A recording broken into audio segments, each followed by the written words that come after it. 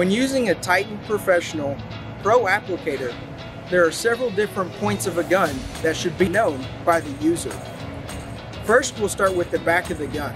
Here's the control knob. This is going to allow the dispensing of the product by right hand closing it and left hand opening it. Just like you tighten to the right and loosen to the left. Next, we'll move forward to the trigger. The trigger is, is just a simple way to allow the dispensing of the material at a different flow, either increase flow or decrease flow depending on the pressure pulled with the trigger. Next, we'll talk about the basket. The basket is where the can and the gun connect, allowing the flow of the material to come out of the can and into the valve of the gun, which is in the middle of the basket.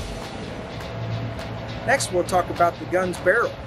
You have the exterior and the interior. The interior of the barrel will have the control rod, which the control rod is controlled through the pulling of the trigger, which is also controlled through the allowing of the opening of the control knob. The interior of the barrel is important to keep clean throughout the gun's lifespan as this is the leading cause of death for a gun. Last, we have the gun's tip.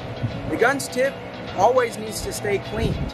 One, for proper flow dispensing of the product, but also to ensure that the product does not cure at the end of the tip, allowing air to flow inside the barrel, allowing the product to cure inside the barrel.